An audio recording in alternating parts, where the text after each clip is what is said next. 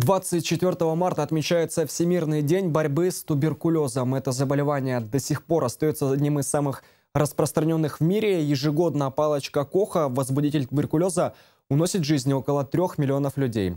По словам специалистов медицины, лучшая профилактика болезни – распространение информации о туберкулезе в глобальном масштабе и регулярный, регулярный медосмотр.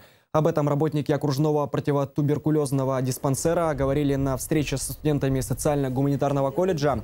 Место для лекции выбрали не случайно. Многие из учащихся проживают в общежитии, одном из потенциально опасных мест заражения.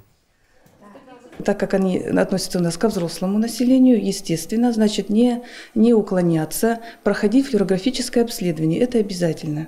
Студентам хотя бы раз в два года. У нас организована хорошо оргметод работа, санпросвет работа. Да, мы в этом году на этот значит, день, 24 марта, у нас запланированы выходы не только в педколледж, но и практически во все школы города.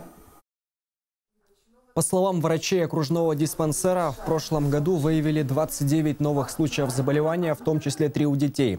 Общее число больных с активной формой туберкулеза 85. По статистике диспансера только 50% заболевших полностью избавляются от опасной легочной инфекции. Как правило, положительный исход лечения зависит от сроков получения диагноза.